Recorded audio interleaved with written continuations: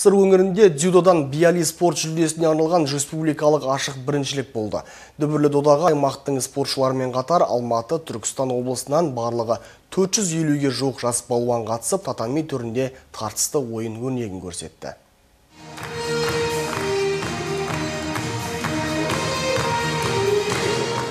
Сайдың тасындай сап түзеген бұл балуандар болашақта әлемдік додаларда атой салып ел абыройын асқақтататынына сеніміміз кәміл. Себебі жас спортшылардың жанарында жалын көздерінде оты бар жеңіске деген жігерде ерекше.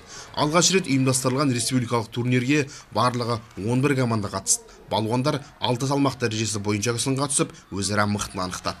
Дзюдо күресінен 2008-2009 жылы және 2011-2012 жылы болған ұлдар мен қыздар арасында өтіп жатыр. Сыр өңірінде дзюдо күресінің дамуы өте жоғары деңгейде. Бүгінгі спортшыларымыздың деңгейі өте жоғары және де өз әдістерін өте жақсы жасап жатыр.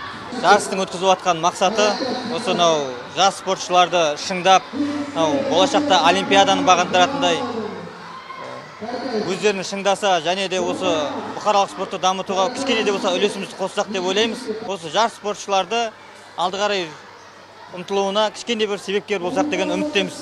Жиырма келі салмақта татами төріне шыққан спортшылардың бірі нұрдәулет садық. Ол боз кілемде бес балуанмен белдесіп барлық қарсыласын айқын басымдықпен жеңді міне жалағаштық спортшы осылайша республикалық ашық біріншілікте алтыннан алқа тақты.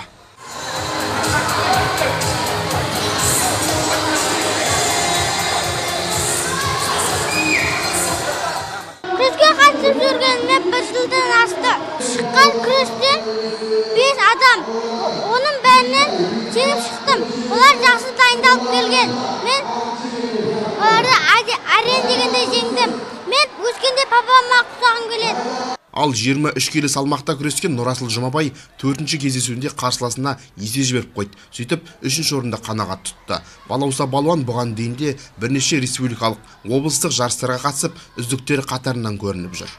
Мен дзюдоға қатысуым бір жылдай болды мен дзюдодан үш адамды ұтып бір адамнан жеңіліп қалдым мен оған күшім жетпей қалды ол мені ұшырып алып кетті алдағы бірінші орын алуға тырысамын айта кетейік жеңімпаздар мен жүлдегерлерге биали спорт мекемесінің атынан бағалы сыйлықтар табыс етілді.